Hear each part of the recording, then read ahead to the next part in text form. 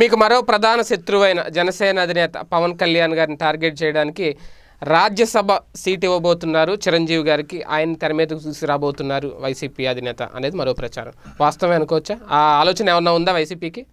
దానికి సంబంధించి స్పష్టంగా పవన్ కళ్యాణ్ గారు చెప్తే బాగుండిద్దాము. వాళ్ళ కుటుంబానికి సంబంధించిన వ్యక్తి చిరంజీవి గారు. సో ఆయన ఈరోజు మా పార్టీలో ఏం లేరు. మా పార్టీకి మద్దతుగా కూడా ఏం లేరు. ప్రభుత్వానికి సంబంధించిన రెండు విషయాలు ఏదైతే ఇంగ్లీష్ మీడియానికి సంబంధించిన విషయంలో మూడు రాజధానులకు సంబంధించిన అంశంలో చాలా మంచి కార్యక్రమం అని చెప్పి ఆయన ఒక సినిమా హీరోగా ఏదైతే ఒక ప్రముఖ సినిమా హీరోగా అత్యంత జనాదరణ కలిగిన ఒక హీరోగా ఆయన ప్రభుత్వం చేస్తున్న కార్యక్రమాలకి మంచి కార్యక్రమం అని చెప్పి ఆయన చెప్పడం జరిగింది తప్ప వైఎస్ఆర్ కాంగ్రెస్ పార్టీ ప్రభుత్వాన్ని ప్రభుత్వంలో ఆయన భాగము కాదు ఆయన మా పార్టీలో కూడా జాయిన్ అవ్వలేదు. సినిమా హీరో ఓకే కానీ ఒకప్పుడు ఆయన కేంద్ర మాజీ మంత్రి ఒకప్పుడు ఒక పార్టీ కానీ ఈ రోజు ఆయన రాజకీయాల్లో. ఆయన స్పష్టంగా కరెక్టే. రాజకీయాల్లో లేరని.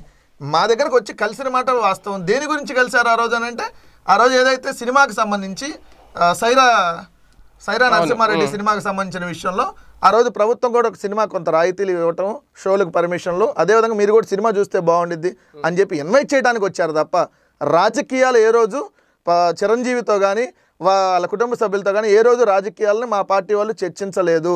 వాళ్ళు ఇదన్నీ సోషల్ మీడియాలో వస్తున్న వార్తలు మాత్రమే. దీనికి ఇంక- ఇంకేదన్నా వాళ్ళ క్లారిటీ రావాలంటే వాళ్ళ తమ్ముడైనటువంటి పవన్ కళ్యాణ్ చెప్తే ఇంకొద్ది క్లారిటీ వచ్చింది తప్ప మా దగ్గర ఇన్ఫర్మేషన్ లేదని మాత్రం చెప్తాం అంటే మీకు వ్యతిరేకంగా పవన్ కళ్యాణ్ గారు ఉన్న సొంత అన్న మీరన్నట్టే ఆయన మీకు సపోర్ట్ చేయడం.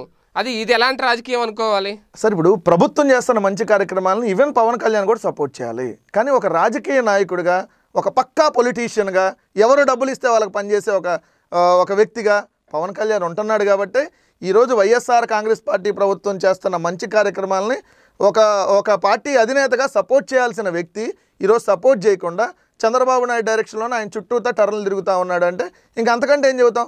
మంచి కార్యక్రమం చేసినప్పుడు ఖచ్చితంగా సపోర్ట్ చేయాలి. ఈరోజు అమ్మఒడి కార్యక్రమం చాలా మంచి కార్యక్రమం.